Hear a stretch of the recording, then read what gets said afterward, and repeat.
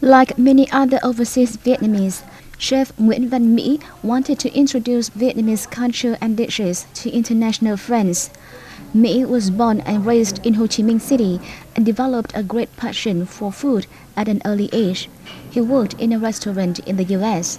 In 1996, Mỹ moved to South Africa to realize his dream of introducing Vietnamese cuisine to foreign friends. He put his heart into each and every dish, he said, and also spends time seeking original ingredients in order to prepare authentic dishes. Really good. I think um, pho is actually one of my favorite dishes. Um, I've had it in the States and as well as South Africa here, and this one is really good. The broth is very good. Mỹ said that local people are fond of a late brunch, so don't eat out in the daytime while dinner is the main meal of the day, so his restaurant is normally packed in the evening.